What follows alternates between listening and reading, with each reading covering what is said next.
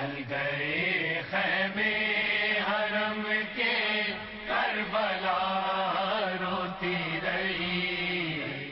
کرب و بلا کے مناظر یوں تو ناقابل بیان ہیں، مگر دین کے لیے دی جانے والی لا زوال قربانیوں کی یاد تا قیامت مسلمانوں کے سینوں پر نقش رہے گی۔ سنت اہل بیت کی ادائیگی کے لیے خیمہ بستیاں بسانے کی روایت ایک عرصے سے چلی آ رہی ہے، جس میں زائرین اپنا گھر بار چھوڑ کر پہلا اشرا خیموں میں رہائش پذیر ہوتے ہیں اور مظلوم کربلا کی یاد تازہ کرتے ہیں۔ آزاداروں کا کہنا تھا کہ کربلا میں لگنے والے خیموں کی یاد میں یہ خیمے لگائے جاتے ہیں۔ جو شدائے کربلا میں جو کاپے لگائے گئے تھے لوگ ان کی یاد میں مناتے تھے۔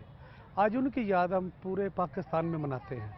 آج دھوبی گڑھ کی گراؤنڈ میں ان کی یاد ہی مناتے ہیں کوپے لگاتے ہیں اور ان کی یاد کو تازہ کرتے ہیں۔ خیمہ بستی میں مقیم ایک شخص کا کہنا تھا کہ ہمارا خاندان تقریباً ایک سو سال سے یہاں خیمہ لگا رہا ہے۔ تقریباً ایک سو سال ہو گیا۔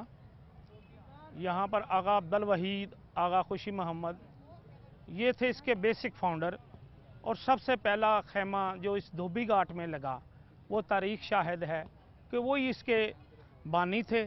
بھول جائیں گے ہر غم غم تیرا نہ بھولیں گے کربلا نہ بھولیں گے باخدا نہ بھولیں گے۔ آنکھوں کے ساحلوں پہ ہے اشکوں کا ایک ہجوم شاید غم حسین کا موسم قریب ہے۔